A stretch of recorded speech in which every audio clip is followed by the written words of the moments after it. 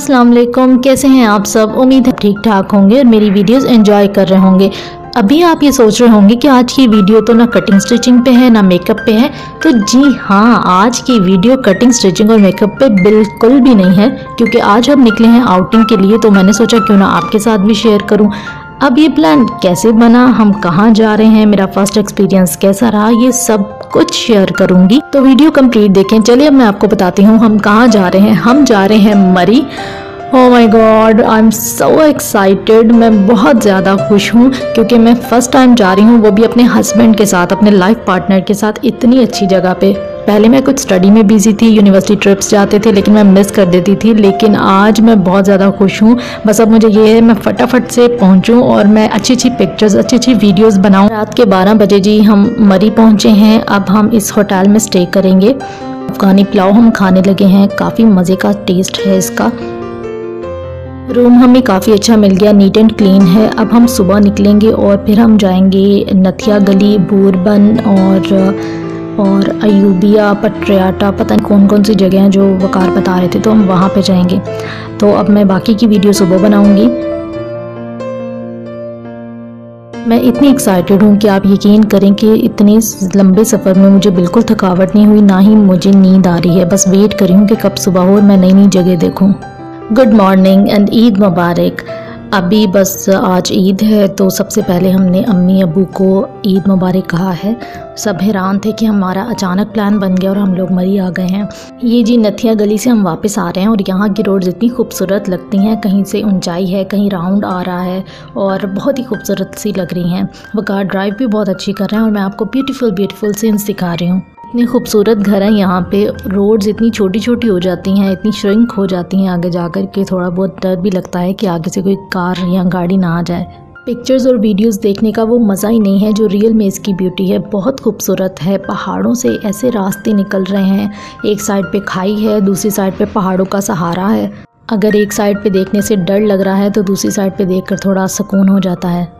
यहाँ पे तो सांस लेने में भी इतना सुकून है कि ऐसे लगता है जैसे फ़्रेश फ्रेश सांस हम ले रहे हैं, कोई डर्ट नहीं है। यहाँ के ट्रीज़ की जो फ्रेगरेंस है, उसमें जब हम सांस लेते हैं तो बहुत ही अच्छा लगता है।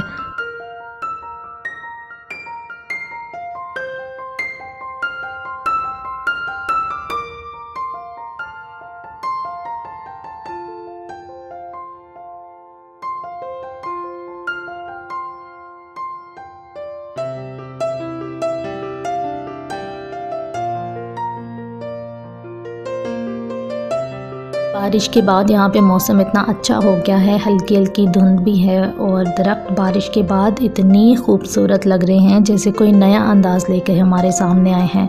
मैं अल्लाह की तारीफ़ में क्या बोलूँ, मुझे वर्ड्स नहीं मिल रहे। हम तो घर का थोड़ा सा काम करके इतना थक जाते हैं और अल्लाह ने देखे हमारे लिए कितनी खूबसूरत चीज़ें जगह हर चीज़ हमारे लिए बनाई है। हमारे खाने, पीने, रहने, हर चीज़ का सोचा है। हम तो जितना भी उनका शुक्र अदा कर सकें वो शायद कम हो। हम तो नमाज़ ही पाबंदी से नहीं पढ़ते जिस हमें हुक्म दिया है।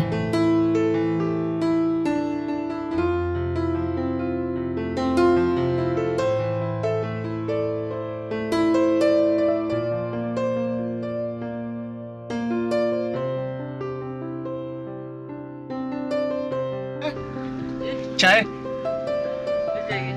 सुबह के ग्यारह बज गए हैं और ये चाय हमें बहुत मुश्किल मिली है क्योंकि सब शॉप्स रेस्टोरेंट्स बंद हैं। कुर्बानी की ईद है इस वजह से। तो ये बस बहुत मुश्किल, हमें एक बच्चे ने चाय बना के दी है फ्री में, लेकिन हमने फ्री में पी नहीं।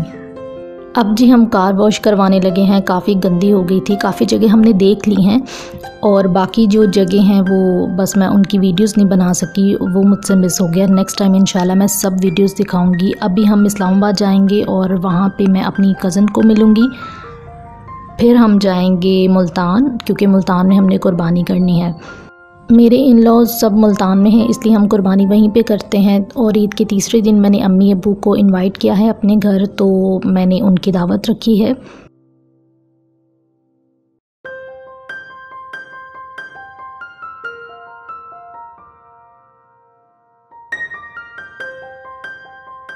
ओके जी, अब हम जा रहे हैं घर वापस, क्योंकि घर जाके मैंने दावत की तैयारियाँ करनी हैं और अभी अभी मैं अपनी कज़न से मिल के आ रही हूँ, हुमा से, इस्लामाबाद और बहुत मज़ा आया है उसकी तरफ़। वो भी बहुत एक्साइटेड थी, मैं भी बहुत एक्साइटेड थी। उसने काफ़ी कुछ बनाया था रशियन सैलड गोल गप्पे अचारी मटन और भी काफ़ी कुछ था, बहुत मज़ा आया। Thank you so much Huma.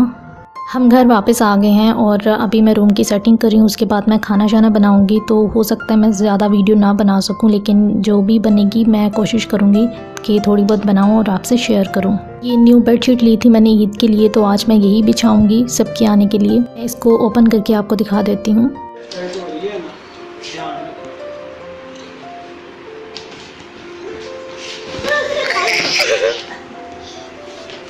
अच्छा जी, सब मेहमान आ चुके हैं और ये हमारी क्यूट सी डॉल भी आ गई है। ये ड्रेस इससे मैंने स्टिच करके दिया था। अगर आपने मेरे इस ड्रेस की वीडियो नहीं देखी तो आप मेरे चैनल पे जाके इस वीडियो को देख सकते हैं। अब मैं ज़रा जा रही हूँ, थोड़ा काम कर लूँ और तब तक आप इन बच्चों की हरकतें देखें।